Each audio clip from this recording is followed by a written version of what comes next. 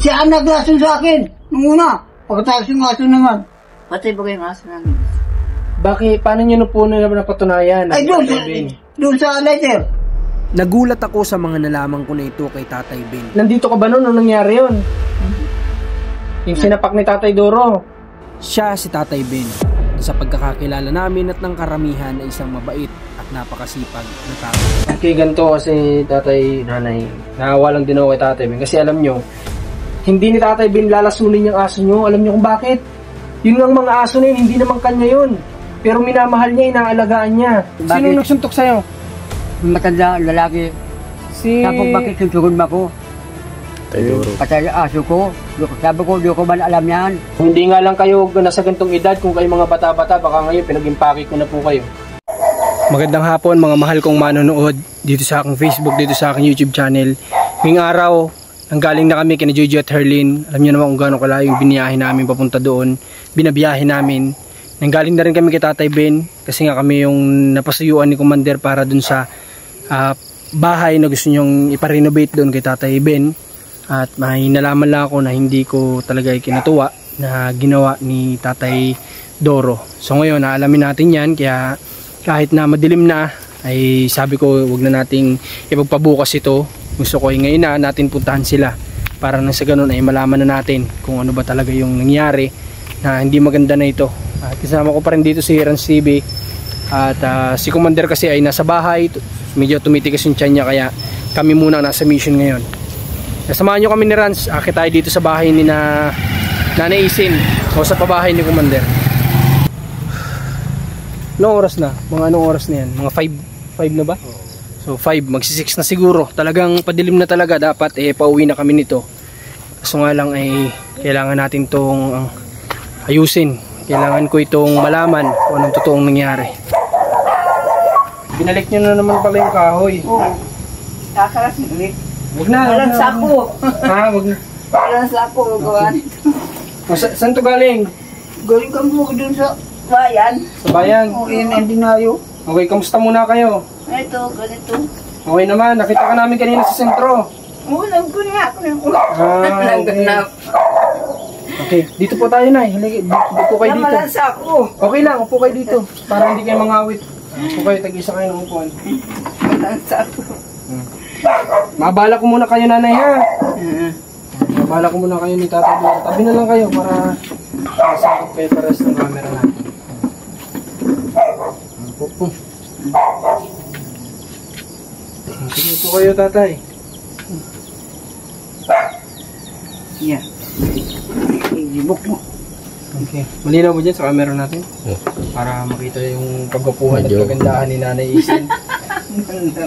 Okay.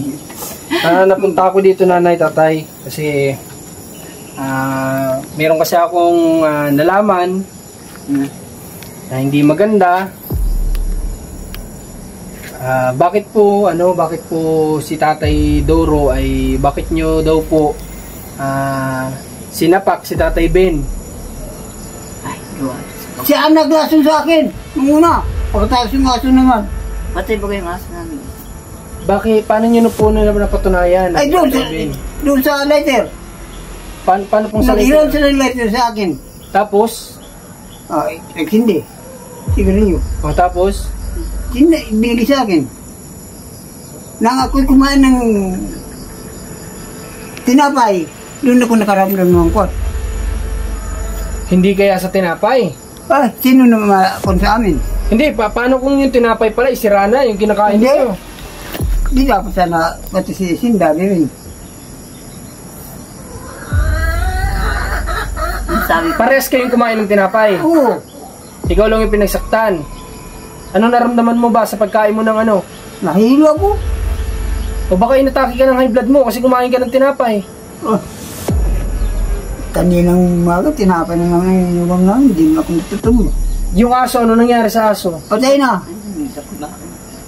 O nga, ba- bakit anong kinamatay ng aso? Yung ba yung napilay? Hindi, ayun.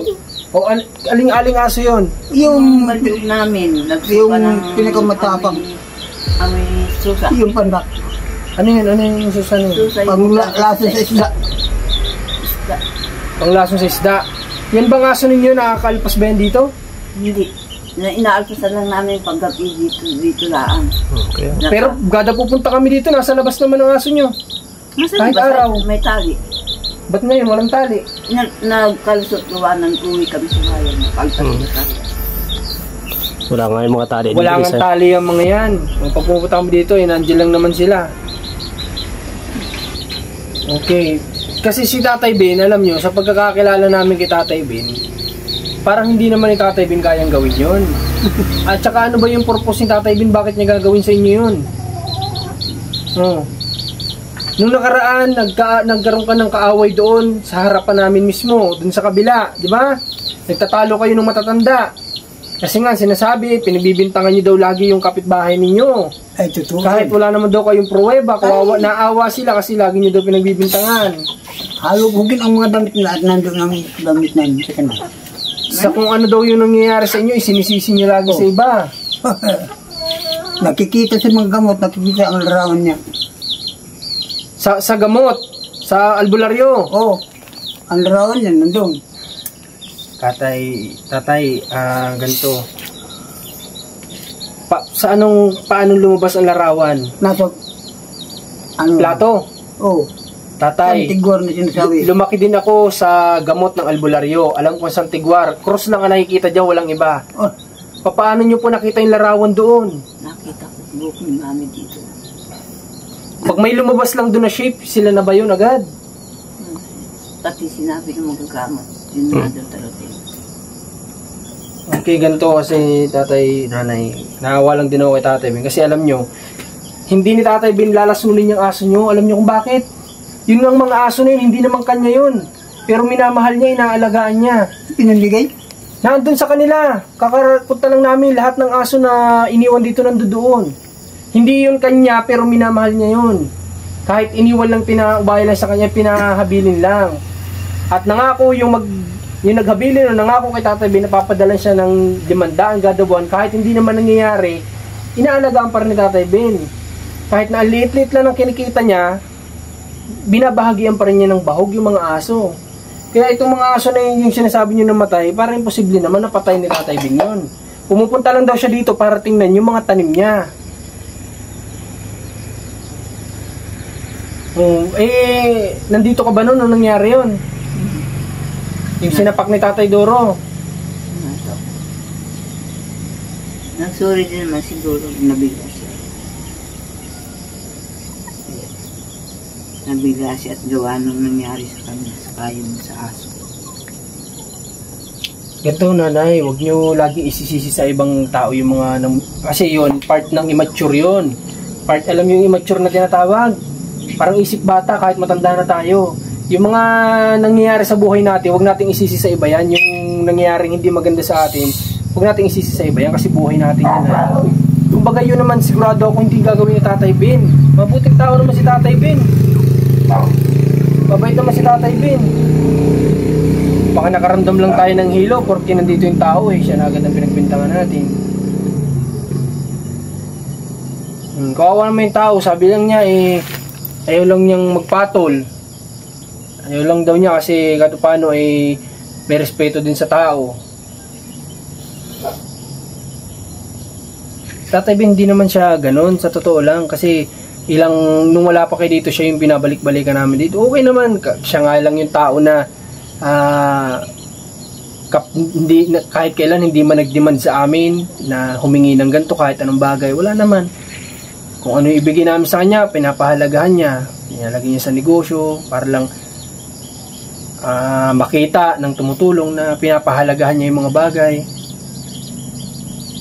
Okay, pero ah, ano ano nangyari pagkatapos nun? Yun sorry siguro, nabigla nga siya. Tinanggap naman ni Tatay Ben. Oo. Ano? Nag- Nagyapusan pa sila dito ng kamayan. Alam ko niya manay, nabiglaan niya si manay. Kaya niya. Tatawarin din niya ako manay. Sabi tatawaran sila niya. Okay, sa totoo lang eh ano dapat eh pauwi na kami ay da marami na rin kami napuntahan ngayon pagod na rin kami. Kaso nga lang nung nalaman ko yun ay sabi ko eh tatanong ko din sa inyo. Para na sa ganun ay marinig din namin yung side ninyo hindi lang sa kanya kasi hindi naman kami bias. Hindi namin ugali yon kailangan kung ano yung kuninto niya marinig din namin yung side ng kabila o ngayon yung tao ay parang ayaw na tuloy magpunta dito. Kahit na gusto niya sana bisita-bisitahan yung mga tanim niya eh medyo sumama siguro yung loob. Dahil nga ganun yung nangyari sa kanya. Sabi niya hindi naman niya magagawa yon ba't naman niya gagawin yon sa tagal-tagal niyang nanirahan dito wala naman siya nakagalit. Wala siyang nakaaway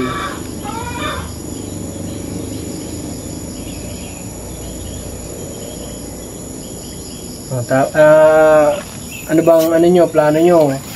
May nakapagsabi din sa akin dyan na nakwentuhan nyo yata. Na pag naka-payout daw kayo, alis na kayo. Oo. Pag naka-payout kayo, saan kayo pupunta? Bahala na kung saan kami makapunta. Hindi kami sa hindi diyan sa kasi sa tap.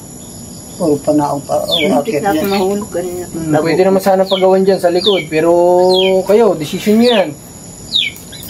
Kasi pwede naman natin ang lahat ng bagay na nahihirapan tayo, pwede nating padaliin. Lahat ng mahirap, pwedeng padaliin. So kung nahihirapan ka dyan, pwede naman tayo din magpagawa. Pero, eh, sa nakikita ko, talagang desidido kayo na umalis. O saan kayo titira niyan? E di parang ang naging lagay niyan eh, parang pinahirapan lang namin kayo. Hindi na nadala namin kayo dito. Pero sa totoo lang, ayaw na daw talaga nila doon sa dating bahay na yun. Kasi nga dahil nga hindi nila makasundo sa bahay nila. Okay, kailan ba ang payout ninyo? December. O, plano nyo na, alis na kayo dito. Final decision. Gusto ko marinig yung final yung decision. Kasi binigyan ko na kayo ng idea kung ang lahat na mahirap pwedeng padaliin. Pero kung ano yung final decision nyo, yun ang susundin namin. Hindi naman kami para uh, ipagpilitan yung mga bagay na ayaw ninyo. O saan kayo lilipat kung sakali? Ikaw na naisin. Saan? Ano na ako nakausapin sa mga patang. Oh, ba't ang lakas po ng loob ninyo magli maglipat? Wala naman pala kayo nilipatan. Hindi ko pa nakausap ang inyong lupa. Marami din sa ito, hindi mo na ginagawa. Hindi ko makausap yung may, may, paano makausap, hindi kami napunta. Yung matatanda ay pero wala doon. Yung punta ko nga doon ay wala. Nung maningin ako. Wala yung tatanda doon. Yung babae. Yung dalawang matanda babae. Sino yung dalawang babae. Ate Pilipina. Si Ate Kuan ay. Sa, Ate. ganito ano, ah, kung plano nyo talaga yan, eh, hindi namin kayo dyan pipigilan. Ha? Kung plano nyo, hindi namin kayo pipigilan dyan. Ano? Saka doon sa nalaman ko na yun na nangyari, medyo nag-iba rin yung tingin ko sa inyo sa totoo lang. Kasi dapat sinisigurado nyo muna yung mga bagay-bagay bago kayo gumawa ng aksyon, lalo na alam nyo makakasakit kayo ng ganong physical. Kung hindi nga lang kayo nasa gantong edad, kung kayo mga bata-bata, baka ngayon pinag-impake ko na po kayo. Sa totoo lang. Kaso nga lang, iniisip ko may edad na po kayo. Kailangan eh, ala, ah, timbangin din namin yung sitwasyon ninyo.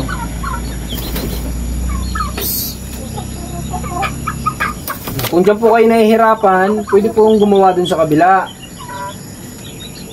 Mas mababa doon. O, pero kung yan, yun, yun lang yung bibigay ko sa inyong choice. Kung plano nyo talagang lumipat, eh, talagang desidido kayo doon. Pero may paraan kung ito yung pinoproblema nyo dito, pwede naman dito. Ano pa ba Rans pwedeng gawin dyan kung dito ang daan? Para hindi madulas. Pwede Bukod ba- sa simentuhin, ano? Pwede mo nilang anuhan yan. Anong pwedeng Yung, dyan? ayusin lang naman yan kasi na punit lang yung sako.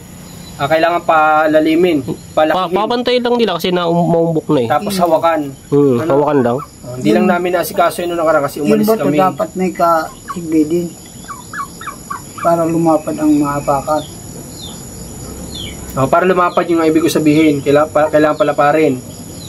O, di yung karpintero na gagawa kay Tatay Ben, kung mat, may oras siya o matapos niya kagad yun, kasi sa tingin ko naman saglit lang sa kanya yun, baka isang araw tapos niya yun. Papagawa ko din ito. Ano? Ah, Pag pinagawa ko ito, tapos umalis pa rin kayo, eh gusto nyo talaga yon Desisyon nyo talaga yon Hindi. Din talagang nahihirapan. At ako nadali din na pagulong. Labali yung hawakan kawayan. Mm. O sige, kung yan ang pinoproblema nyo, bibigyan ko pa rin kayo ng ano, papagawa ko yan dun sa karpintero. Tapusin niya lang kay Tatay Ben, mga isang araw lang siguro yun. At renovate, renovation lang naman yun. Papasunod ko ito. Ha? Oh. Mag-ingat-ingat na lang muna kayo sa ngayon. Huwag na magbababa ng kung saan saan kayo. Saan ba kasi na kayo napunta sa Tatay Duro sa napunta? Magligo. Ah, pagliligo doon. Oo. Nauna siya sa akin. Naligo yan. Naligo rin ako. Yun nga, may daan dyan ay. Una- May daan din kasi dito sa hindi ba kayo nakadaan dyan? Hindi pa. Na, naanuhan na lang ng damo yan. Ah, kasi madamo. Tabas-tabasan mo nanay. May daan dyan, mababa ang daan dyan. Ay, dyan lang. Ibababa ka lang naman dyan. Diyan doon ka na na. sa baba doon eh. Patag naman dyan. O pagkalampas niya sa damo-damo na yan, ipatag na. Madalas ka kasi naglalakad-lakad sa sentro. Kung pinagtatabas mo na lang dito yung nilalakad-lakad mo doon. May pa rin ako dun. May napalakad ako dyan Ah, may nasikaso. na pumili siya ng tulong mayroon kang dilulubog sa ano ba yan? Sa gamot. Ah, sa gamot. Ano yan? Ang tawag doon? Reseta. Kaseta. Ah, humingi ng libreng gamot. Mm. Ibig sabihin. Maski kwarta pa rin na rin, bibili ng gamot. Ah, kanino? Kay Miora? Galing, Saka, saka kay Kunsyal na O pumupunta ba kayo? hindi pa. O kasi para ma mapakinabangan nyo rin yung dapat na tulong na nasa inyo galing sa gobyerno, di ba? Wala namang problema dyan. Kahit na ah, tayo ay pupunta din dito at nag-aabot-abot sa kanila, kung makakatulong din sa inyo, pwede nyo asikasuhin yan. Yung nagkuha No? nga akong pambiling gamot, nakakuha naman ako ng 300. Hmm, nakabili ka naman ng gamot. Iisa pa lang nabibili ko kulang. Okay. Sige. Sa ngayon, eh, ito lang yung sadya ko dito ha. Bukas babalik ako dito. At tinan ko yung pwede naming ah, madala kung makabalik kami na maaga galing na aga bukas kasi magpapanaga kami. Saan na ako kayo napunta? Oh, kung makabalik agad kami na rin sa maaga, diretso ako dito ha. Okay, sige. So, ano, ah, kapag pumunta dito si Tatay Ben, eh, kung makita nyo hindi siya masyadong nagkipag-usap sa inyo, yaan nyo na lang. Kasi ang gusto na lang daw niya talaga pag pumunta dito ay asiw kasuhin na lang yung mga tinatanim-tanim niya kasi nalilibang din siguro yung matanda dyan. No? Okay. So, sige Tatay Doro. At ah, hindi ko alam kung ano po yung ano nyo eh, bakit uh, gano'n, nabibigla na lang kayo ng gano'n. Ah, sabi nga ni Tatay Ben ay nagagalit kayo na pinapakailaman kayo ng ibang tao. Eh, sabi nga, kung ayaw nyo pakailaman kayo, huwag nyo rin pakailaman sana ng ibang tao. Huwag nyo rin kantiin o ano man. Kaya nagkakaroon din kayo ng kaaway. Ayaw na ayaw ninyo, di ba? Kayo nga mismo, ayaw nyo pinakikilaman kayo. Kung ganun din yung ibang tao, huwag nyo rin silang pakialaman kung di kayo, ano, upang hindi rin kayo pakialaman. Okay, so yun lang. Maraming salamat ulit. Ito lang talaga si Jaco dito ngayong araw para malaman natin yung totoo dito. At nag, ah, naghingi naman doon ng tawad si Tatay Doro at nagkaunawa naman siguro sila. Okay. So, sige, Nanay Isin, tuloy mo yung tinatrabaho mo po. Bukas, mabalik ako dito, ha? Okay, sige, ano bang kailangan ni Tatay Doro na gamot? At bibiling ko na sa Naga. Nandiyan. Para hindi na kayo nanghihingi. Oh, Pero pwede nyo rin yun. Sabi ko nga, kung pera ibibigay sa inyo, at kaya nyo naman sikasuhin, at para sa taong bayan naman talaga yun, para mapakinabangan nyo din ang bigay ng gobyerno, di, sikasuhin nyo, walang masama doon. Anong gamot ang kailangan? Nakasulat dyan. Hindi ko man mabasa na yan. Nasaan? Bigyan mo sa akin reseta na at nang mabili natin yan. Okay. Ilang minutes yan, Rams? 17. Okay, so dito kasi nagtatanim-tanim na si Tatay Bin dito. Nang pinayagan kasi siya ni Commander dito na magtanim-tanim. At sabi ko din nga, ay malaki-laki pa naman itong lupa na ito at hindi pa naman sila nakakapagtanim. Magtanim-tanim siya kung may tatanim, hindi magtanim. At yun nga yung sabi niya na pupunta lang naman siya dito. Kasi sinabihan ko siya kanina, huwag ka nang pumunta doon kung ganun ang ginawa sa'yo, huwag ka nang pumunta. Eh, sabi niya eh, sayang naman daw kasi yung tinanim niya. Eh, yun na lang daw ang bibisita-bisitahin naman niya, yung tinanim niya dito. Sabi ko, wag mo na, wag kung di mo sila makasundo, wag mo na lang sila kausapin. Kasi sa totoo na ako din ako doon sa matanda. Hindi niya magagawa yung mga bagay na gano'n. Kasi mabuting tao din naman. Kasi kung di mabuti yun, ah walang magmamalasakit doon dito. Kung minsan pumupunta siya ng itok, malayo yung kapag titinda, pinapasakay siya ng libre, di ba?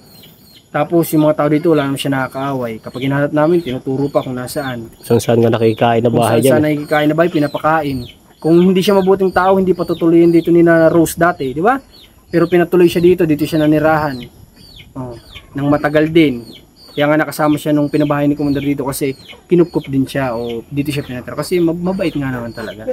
Di ba? Walang, Hmm. Alin dyan ang wala ito? Okay, sige. Akin na muna ito. O, picturean ko na lang. O baka hindi ako makabili nito kung walang reseta. Picture Akin na muna. Sige. Kahit picture naman siguro tinatanggap. Picture na lang siguro natin. May cellphone ka ba dyan, Ran? Picture mo nga.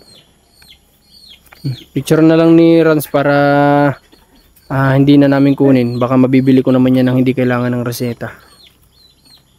Nay, sabihan mo sa tatay, wag pa bugso-bugso. oo, sasabihan. Ha? Kailangan pag-isipan muna natin ng mabuti yung mga bagay bago tayo gumawa ng aksyon. Kasi matatanda na po kayo. oh. Dapat may pinagtandaan na kayo, sabi nga. Hmm, pasensya na kayo kung nasasabihan ko kayo ha. At since kami eh, pumasok na din sa buhay nyo, eh, inaayos lang namin yung mga bagay na hindi, da- hindi dapat nangyayari, no? Hmm, na-picture mo, Rans? Hmm. Wala na yung mga ano dito, kukunti na yung mga ano, mga talbos ng kamuting kahoy, kunti na. Nasa gitna na ito. Malawak pa yan, hanggang dyan pa yan, oh, hindi lang nagagamasan talaga. Malawak pa yung lupa, hanggang doon pa yung sa taas. Yan, papunta dyan. Hindi lang naaayos. Tapos dito, pwede pwede ditong gumawa ng daan, kasi yun, napakababa lang dyan sa likod na yan, oh. Tapos andun ka na, yan, baba ka na dyan. Pero ito, since malinis na, kung ayaw nila maglinis, maggamas, ipapagawa ko na lang po ito. Tapusin lang muna yung kay Tatay Bin. Pauna natin yun kasi kailangan din i-save si Tatay Bin doon. At ah, gawa nito ng paraan kung sino man ang gumagawa ng lupa na ganito. Kung hindi yung karpentero, iba na lang. Siguro yung marunong gumawa nito. At ah, siguro yung tinatabtab na lang siguro, Pwede nga ito. Yan to. Pwede di ba yung lalapat ko lang. ilalapat. Pero kailangan kapit. Kapit sa lupa. Tapos gawa ng hawakan dito ano. Hindi lang namin to nasikaso kasi alam niyo naman umalis nga kami pumunta kami norte. Hindi kagad nasikaso to. Oh, tapos ngayon may gawa pa yung karpintero na ah, kinausap ni Renz kanina. May trabaho pa kaya hindi pa rin nga matrabaho yung kitatay. Pero kung bukas tapos na o sa isang araw, madali lang yung kitatay na yun. Kaya nilang isang araw, dalawang araw yun. Oh, pwede na natin itong ipasunod. Hmm. At ito madulas lang naman to kapag maulan. At saka yun, siguro natatarikan sila kasi medyo may edad-edad na rin. Pero kung may hawakan, iba-iba ano. Kung may hawakan, kaya naman. Oh, kaya naman. Kasi si Tatay Bin, hirap maglakad. Di ba? Hirap maglakad yun, mahina maglakad. Pero nakakit siya dito, nakakit baba. Nung may hawakan pa, nung ayos pa yung hawakan, ano. At saka kapag umuulan lang naman talaga ito madulas. Hindi naman siya kataasan, medyo madulas lang siya kapag ano, kapag maulan. Mataas yung nandun sa ibaba doon. Oo, doon lang naman ang medyo mataas sa pinakambaba. Pero dito naman wala naman, hindi naman to mataas masyado. Kayang-kaya naman yan.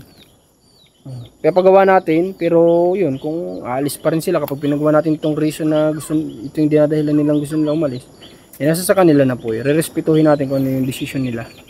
Kung may lilipatan sila, go sila po. Mag-go sila dun. Okay, yun lang naman. Tatay nanay, punta muna po ako ha. Bibiling ko itong gamot mo ha.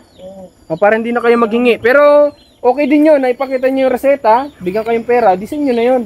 No? Okay, sige, okay, dagdag nyo sa pambili, eh, bili nyo uli ng gamot para may susunod pa. Mababa na kami. Baba na tayo mga kabayan. Oh, medyo madulas nga siya. Kapag ka maulan kasi putik siya. Pero kung tag-init, eh oh, hindi naman to. Tsaka ano, ah, dito, dito, dito lang sa baba, yung medyo ah, matarik, ito lang.